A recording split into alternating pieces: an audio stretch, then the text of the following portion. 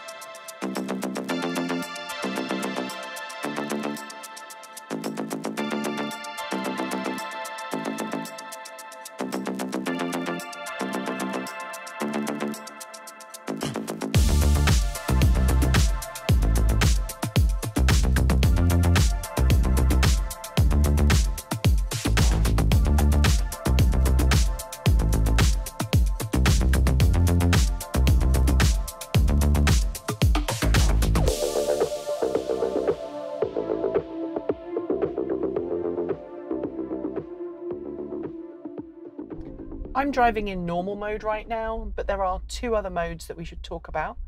There is the sport mode where the dashboard turns into this rather fetching shade of red. It gives you a remapped throttle response, which gives you more acceleration. You get a torque meter down the bottom to see how much power you're actually putting to the road. And of course, you get more regenerative braking on liftoff. It really is a very sporty, engaging drive. And I have to say, I've been using this on country roads because it allows me to just carve up mountain passes a lot more easily. For city commuting, though, eco mode is really good because it actually turns off the front motor altogether and then it behaves more like the rear wheel drive car. And because of the type of motor that this has, it is possible to turn the motor off and not, you know, have any negative effects on range. Yeah, it really significantly extends your range turning off that front motor and turns this car into a much more long legged vehicle. Because it, it must be said, when you drive it in sport or in normal mode at freeway speeds, it is not super efficient. I think I saw 2.8 miles per kilowatt hour on my way up to you to drop this car off, and I think you saw about the same coming back. Yes, yeah. The other mode that we should mention, however, and it's a really useful one for people living out in areas that get snow, is it has a snow mode. which a lot of cars don't have. And it's nice to see it coming back. You know, Toyota used to have a snow mode with the RAV4 EV. You could put it in if you lived in certain markets. This car now has a snow mode. It reduces the amount of torque that is metered out to the motor. That will reduce your wheel spin and reduces the chance that you're going to get stuck. I would suspect it's also somewhat more cautious with its traction control, but it hasn't snowed here, so we haven't had a chance to test that. Auto wipers, really useful on a day like today when it's just, you know, typical Portland weather. Auto lights as well. This is the top trim package. So you lose some stuff, but in terms of a daily commute, which is effectively what we're mimicking here, a few junctions on the freeway and then a couple of miles in stop go traffic through town, sort of two lane city streets simple, easy drive, nothing stressful about it. While the car has great acceleration, there's a, an uncomfortable whine that emits from the rear of the vehicle under heavy acceleration uphill. I did hear it. I heard it a couple of times on the way down here, and yeah, it's quite irritating when it's there. When I test drove the 2021 variant, I did not notice that. So I don't know if it's just this car. Well, if you remember, the EV6 also has some weird noises that it produces, and there was a recall out for it, I believe. Yeah, so I don't know whether that's something that's affecting this particular vehicle or whether it's a more widespread issue. Like all of the previous Kia and Hyundai vehicles, we have paddle shifters, which allow you to dial in your regenerative braking. And in cities, that's really useful because you can set it to coast. If you've got kind of stop and go traffic, you might want to put it into a higher level of regen.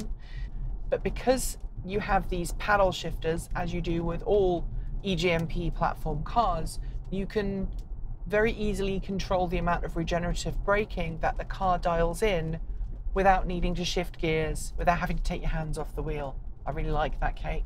I find that iPedal has been really well judged and configured. It brings the car to a stop really smoothly, and it does so when you let your foot off the pedal. It's not like some of the other vehicles I've driven which try and guesstimate when they should stop for the car ahead of you. It does it when you tell it to, which I really like.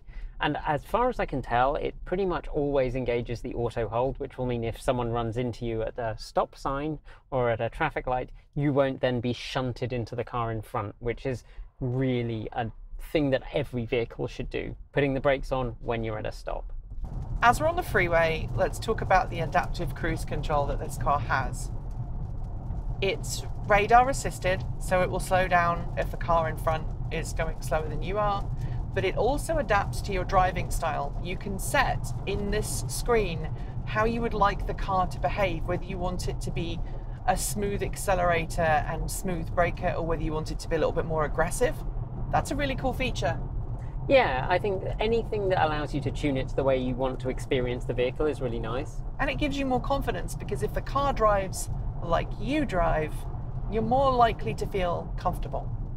Yeah, and I'm going to say it is fairly insistent about you keeping your hand on the steering wheel. It does notice pretty quickly, unlike my car, if you take your hands off and just leave it, then it will inform you, and it does so in a way which I found actually works really well. It just puts a little display up on the screen as the first point of information.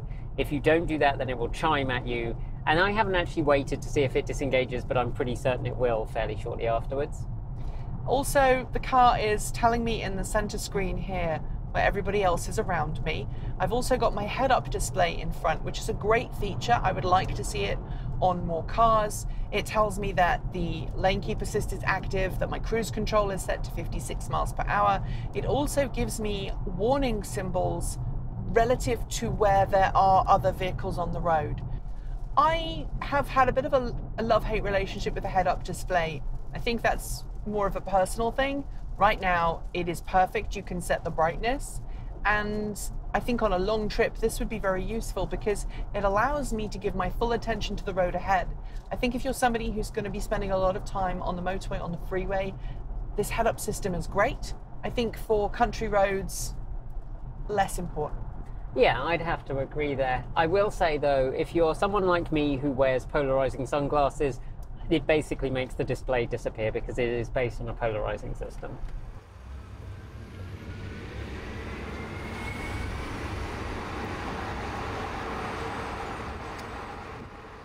So we've talked about how it feels a little bit in sport mode.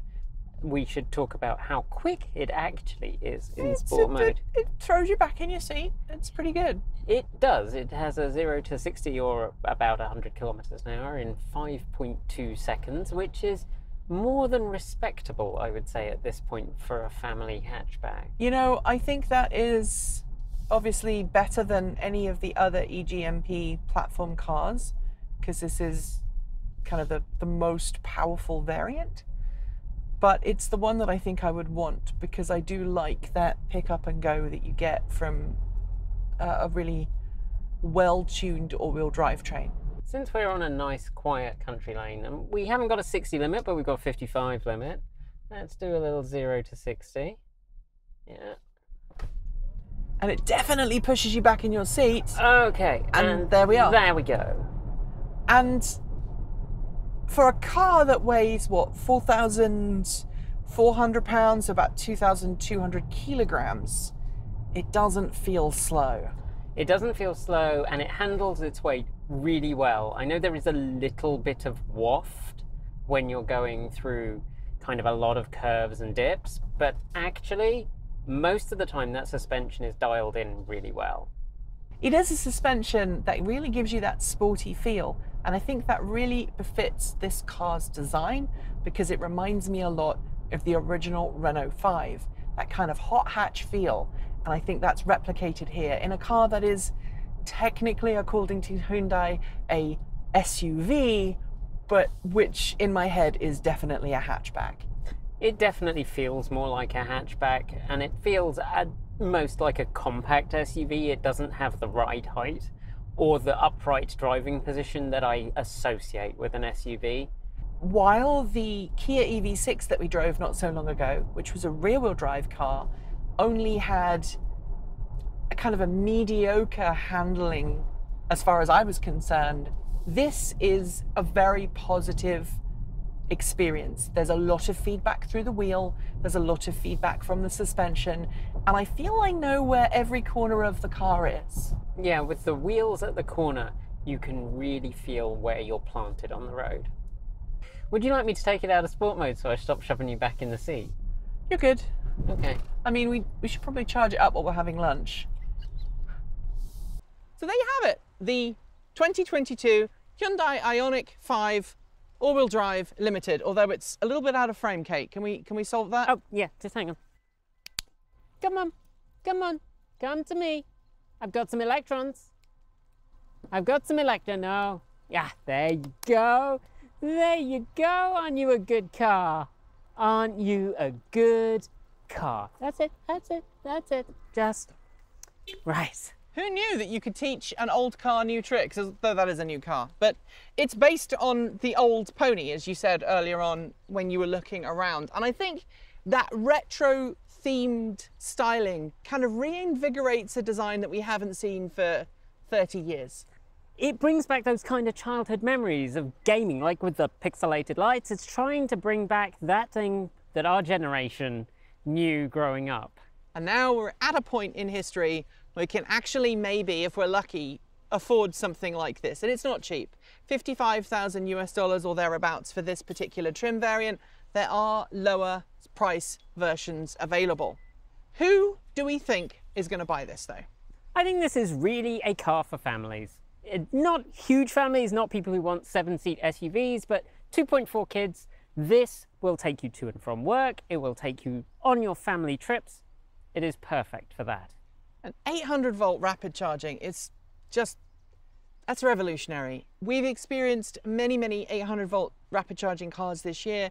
It's quickly becoming the standard for people who want to do long distance trips, who want to go and see friends, colleagues, grandparents. If you've got kids, 20 minute recharge time on the road, it's a big deal. 20 minute recharge time is enough time to herd your little microhumans into the service station get them peed, get them food, get them back out.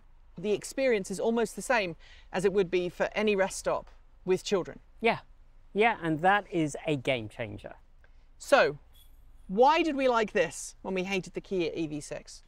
I think the first thing is the power. This thing has enough power for its weight, and it is just a more balanced driving proposition. I think also the interior of this car feels less claustrophobic, especially with that glass roof on the limited edition trim. And the whole car just feels better put together. There's less cheap materials. It feels a little bit more robust. And maybe it's because we are now the middle-aged target market for this car as opposed to the younger Kia buyer, but it just feels a more substantial vehicle. It does, although if you stand me next to each of them, I will tell you each of them is the best looking. No, I think this is better looking than the EV6. The EV6 has a cute rear end, and it's got that cute charge door, which I prefer to this one. But I think at the end of the day, this car is the one that I would want to drive and I would want to own. And I would recommend it to anybody who is experiencing a kind of a what should I buy for my next vehicle. It's definitely something you should go and drive. Absolutely. That is it for this video. And if you haven't already checked our walk around and look inside, do make sure that you do. We've linked to it in the description below. If you liked this video, be sure to give it a thumbs up and don't forget to leave your thoughts below in our free to join Discord chat room. There is a link down there in the video description. And if you really liked it, why not leave us a super thanks? It's easy to do and everything you send goes towards helping us make great content. If you haven't already, do make sure that you've subscribed to this channel and our other channel, Transport Evolved Take 2, and be sure to give the bell a gentle ding to make sure that you are told when our next video goes live. Thanks on behalf of the entire TE crew go out to everyone that makes TE possible. That includes everyone that supports us on Patreon and YouTube. And if you're a supporter at the charged up level, you'll see your name right here on my right. As always, thanks to our self-driving tier supporters, Chris Maxwell, Pedro Miura Pinheiro, Patrick Boyarski, Bennett Elder, Brian Newton, Dave Kitchen, Michael Goad, Ricky Leon, Andrew Martin, Guido Drahota, Brophy Wolf, Tesla in the Gong, Gordon C, Stephen O'Donoghue, Carl Hodgson, Anthony Coates, Jean Fellows, Jim Burness, Chris Centaur, Chris and Michael Johnson, Peter Dillinger and Denny Hyde, and of course, Super Starman out of this world. Thanks to our Starman supporters. They are Anonymous Freak, Marcel Ward, Reggie Watts, Rory Litwin, Joe Bresney, Reedar, JP Fagerback, Russ, Will Graylin, Matthew Drobnak, John Lyons, Andrew Glenn, Paul Conway, Laura Reynolds, Ellery Hensley. And of course, Ian. If you would like to be part of that amazing list, it is super easy. You can join Patreon at the link below. You can hit the join button to support us on YouTube if you're watching this on YouTube, or you can show us your support through Ko-fi or by buying a t-shirt like this one from our cool swag store. Links below. And if you're unable to support us financially, just know that watching the video and sharing it really makes a difference to our ad revenue. As usual, thanks for joining us, and until next time, Keep evolving.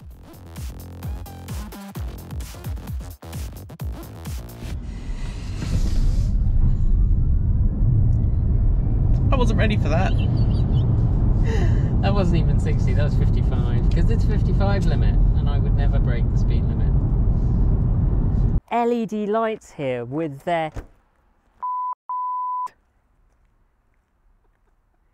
You have these. Uh, wow.